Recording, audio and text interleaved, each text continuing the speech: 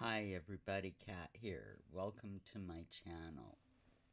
Well, recently there has been a lot of commentary online, in the press, by royal commentators, the establishment, and YouTubers regarding a couple of things. The Crown, for one, and Harry's upcoming book for another. And everybody's up in arms. Oh my gosh, it's the worst thing ever. How could the crown do this to Charles? The queen just died. This is terrible. Well, we got to look at this in a different manner. One thing I've noticed is there is a huge amount of blind deference amongst the public, the establishment, and the press towards Charles and the royal family. You know, the king can do no wrong. How could how could Netflix do such a thing and be so hurtful? It's wrong. We should cancel our Netflix. We shouldn't watch The Crown. That's cancel culture you can't just cancel something because you don't want to hear it. Let's look at The Crown. Of course, we know it is a dramatization of events regarding the royal family. Every conversation isn't going to be verbatim. Of course, they had to build up some dialogue. They weren't in the room when these things happened. But there are some basic truths in it and basic events that really did happen. That even though Charles and the rest of the royal family and the establishment would rather shove under the rug so we don't think about it, well, you know, that's just not the way life works. In I think it was episode three or something of The Crown, they introduced Penelope Knatchbull, um, who is a second cousin, I think, to, to King Charles. Well, at the time she was in her early 20s and Philip was already 50 years old. They developed a friendship. Everybody's up in arms. How could Netflix even insinuate that Philip had an affair? Well, I'll tell you. Pretty much the whole marriage of uh, Philip and the Queen, there was rumor of many affairs of him, some more well known than others. But this particular instance, we'll just stick to just one thing at a time.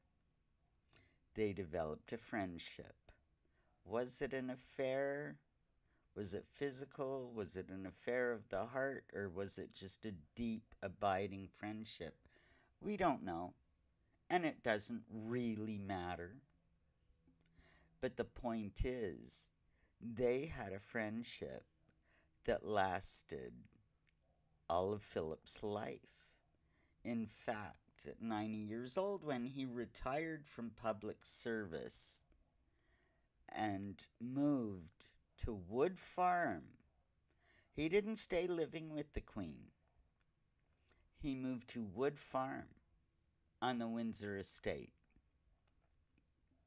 And you know who was his constant companion at Wood Farm? It was Penelope Knatchbull. In fact, at Prince Philip's funeral, which we remember was uh, at the height of the COVID restrictions, the Queen sitting there alone, everybody masked up, only 50 people were invited to attend the funeral.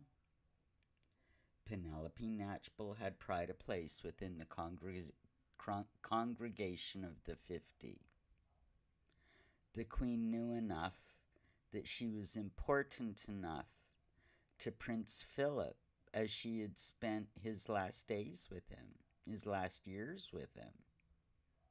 Queen knew enough and was respectful enough to invite her to the funeral. That says something. So, whether it was an affair, whether it was a friendship, it lasted for years and it was a very important relationship in Philip's life. But oh my, can't mention it on Netflix because we can't denigrate the memory of Prince Philip. We can't do that. It's too hurtful to the royal family. You have to grow up, folks. Another thing everybody's talking about in The Crown is oh my God, the way they portrayed uh, Prince Charles, now King Charles, um, was terrible. They made him look like such a mean and nasty man, and the way they portrayed Camilla. Well, I'll tell you, at the time, the Diana years, when this was going on, Charles wasn't a very nice man. Camilla wasn't very nice. The two of them, along with their friends and the establishment, and to a large degree the press, were gaslighting Diana. Rumors and stories they were putting out oh, she's crazy, she needs to be locked up, she's got mental disturbance. They were trying to ruin her reputation. And so be it you know, if Netflix wants to portray things realistically, they can't gloss over that. They can't gloss over that kind of behavior. Just because Angela Levin says, Oh my gosh, this is terrible, and how dare they do it, and it's hurtful to the king, and the crown should be pulled from Netflix and it's it's a travesty. It's this kind of blind deference to the royal sorry, there's a little fly.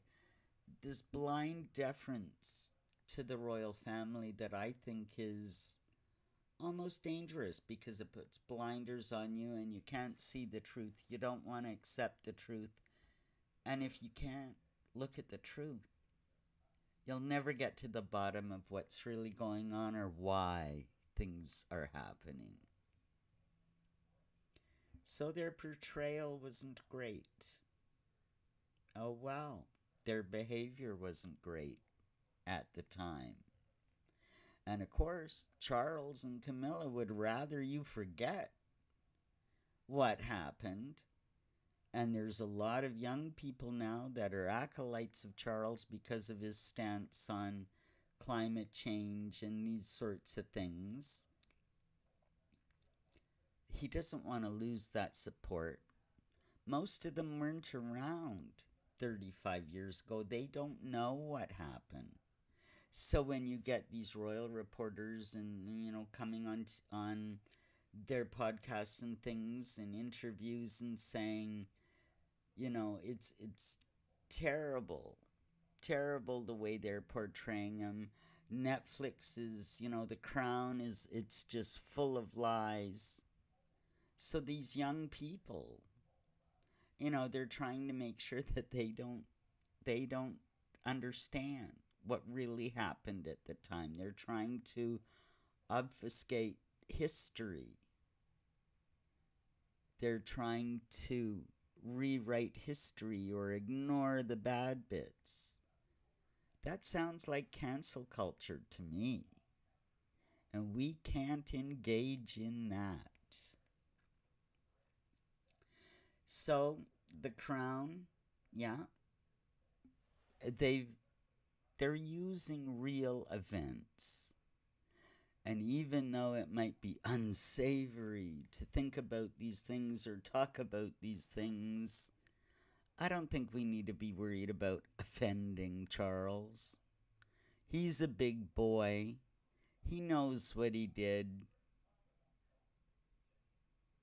And, you know, we don't need to give him that blind deference and say, oh, we can just sweep all that under the rug. You can't do it. Even the tawdry tampon gate part in the in the in the series that really happened at the time i've heard the transcripts or heard the tape recording i've read the transcripts yeah it was a tawdry little thing between two lovers and everybody was horrified at the time don't forget at the time Diana's whole Squidgy Gate phone scandal thing came out too. But what was happening at the time, um, throughout the first maybe eight, nine years of the Wales's marriage, the press knew something was wrong. But in deference to the royal family, they kept it quiet and they fed us the lie that everything was fine.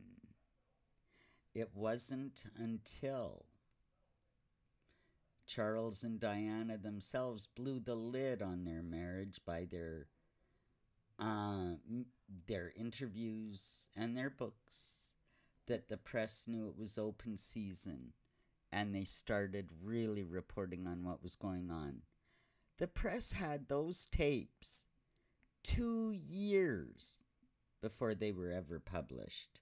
They knew that the whole fairy tale marriage was a lie, but they weren't allowed to report on it. So the fact that 35 years later, Netflix is coming out and giving an account of this. How how can you sit there and say, oh, this is terrible and they shouldn't do it? These things happened. Charles and Camilla, despite all the royal trappings, are real people. And because of his position, he could do what he wanted. And they did. And that's just a fact. You can't put blinders on it. You can't sweep it under the rug. So watch Netflix. You might learn something. Things that the press doesn't want you to know. Even though this has all been hashed over 35 years ago, now they're trying to sweep it under the rug again. That's the way it goes, and that's the power the royal family has over the people who just bow down and give blind deference to the royal family and its members. That's got to stop. It's time to face reality, folks.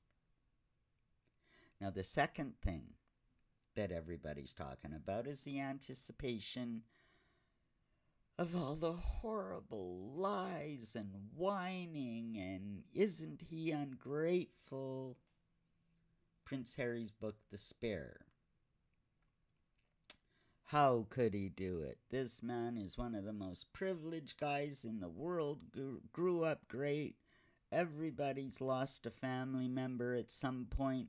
How can he just get this book and whine and complain and it's going to be full of lies and it's going to be so hurtful to Charles and Camilla so hurtful to the queen. How dare he? Well, like father, like son. Oh, it's going to look backwards.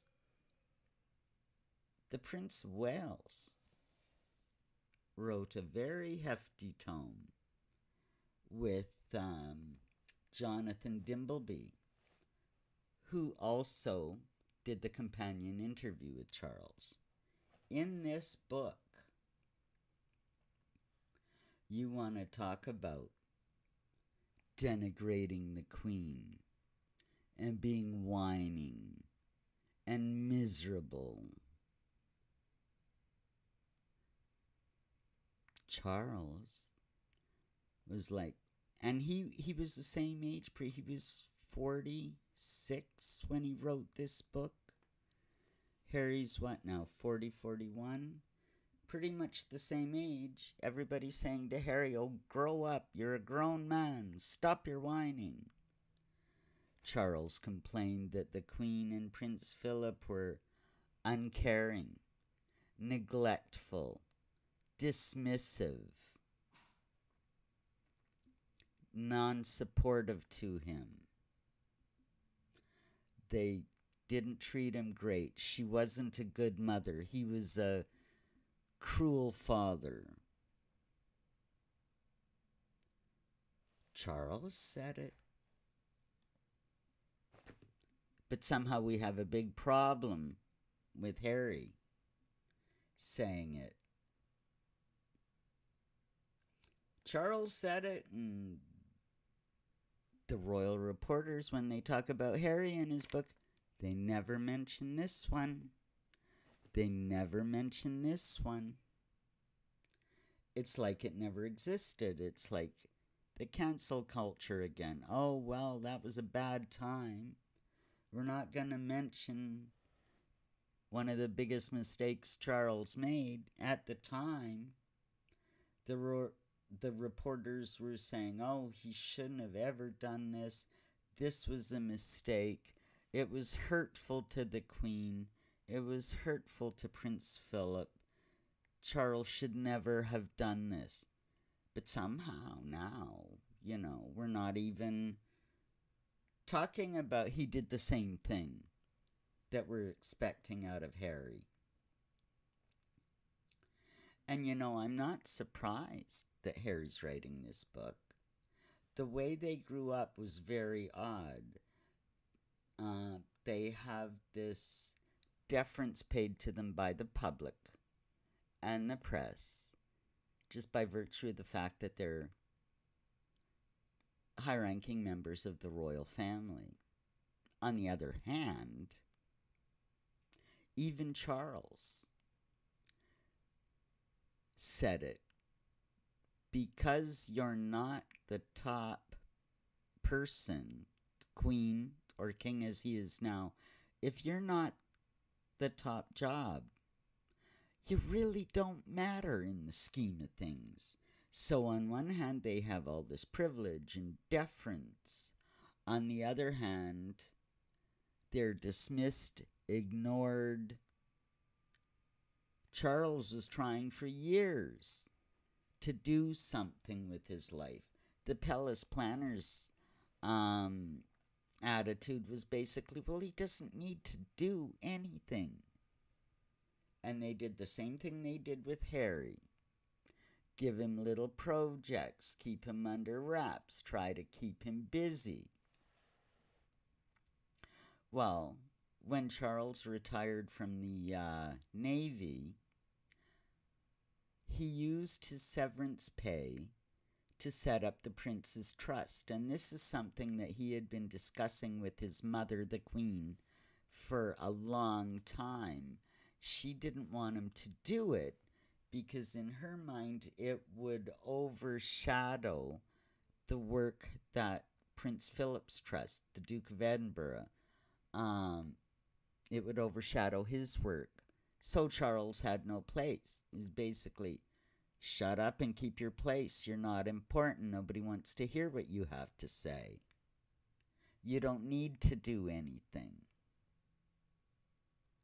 He fought against that and he built the trust anyway. And it wasn't till about 30 years later that the Queen actually, in a speech in public, acknowledged that and said she was proud of the work that he had done. But at the time, Shut up, sit down, know your place. You don't make a spectacle of yourself. And the same thing with Harry. So you can understand how it can happen to Charles, how it can happen to Harry. They had all this deference and privilege, but even within their own family, at the time, they weren't considered important. they really weren't. And that's got to be kind of a hell of a way to grow up. That's got to twist your psyche a little bit. So I can see how it happens. But the fact that now Harry's the bad guy, Netflix is the bad guy, nothing, you know, nothing the Queen or Prince Philip or Charles has ever done. Oh my God, we can't talk about that. That's horrible. You don't want to hurt their feelings. It's terrible. Oh, it's not. It's reality. And you got to face up to reality. You got to take the blinders off. You got to quit this cancel culture. I don't want to hear it. I don't want to see it. I just want to give my blind devotion to the monarchy. It's time to wake up. Have a great day, everybody. Like and subscribe. And I really want to hear your comments about this. Let's get the conversation going. Bye for now.